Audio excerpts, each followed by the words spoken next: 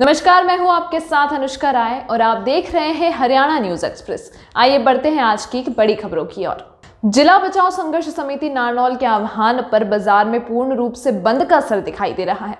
नारनौल को जिला बनाने और जिला मुख्यालय नारनौल में ही रहे को लेकर आज बाज़ार बंद का आह्वान किया गया था, जिसको लेकर नारनौल के साथ साथ नांगल चौधरी निजामपुर व अटेली के व्यापारी भी संघर्ष समिति के समर्थन में दिखाई दिए और आज सभी जगह बाज़ार पूर्ण रूप से बंद रखे गए।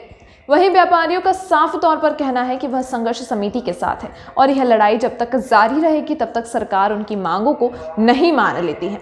आज जो बाज़ार बंद बुलाए गए हैं, वह तो शुरुआत मात्र है। जिला मुख्यालय को लेकर उनकी लड़ाई जारी रहेगी और वो संघर्ष समिति के साथ कंधे से कंधा मिलाकर खड़े रहेंगे। नारनौल से हमारे संवाददाता गुलशन कुमार की रिपोर्ट। तो आप ही देख रहे हो, सारा बंद है टोटल धारनोड़ बंद है टोटल एक भी दुकानें नहीं खुली।